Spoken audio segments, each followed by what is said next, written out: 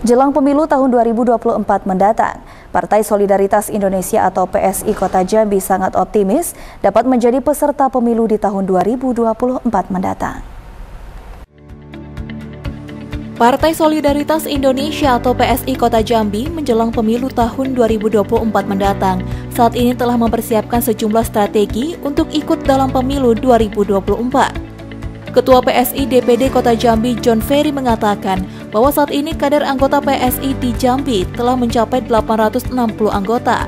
Dirinya juga menyebutkan bahwa kehadiran PSI di tengah masyarakat Jambi ialah dengan jargonnya yaitu perjuangan soal ekonomi kerakyatan. Anggota yang terdaftar di siap kita hari ini 860-an ya, 860-an. Sedangkan input data sipol kita kemarin kita ambil yang uh, minimal ya, sesuai minimal yang itu pada Pak PU sekitar 600 maaf kalau nggak tepat ya karena elo saya yang lebih paham soal ini. Tapi 600 sekian. Dengan sampel 240 kalau anggota ber-KTA ada sekitar 860 lebih. Itu anggota ber-KTA.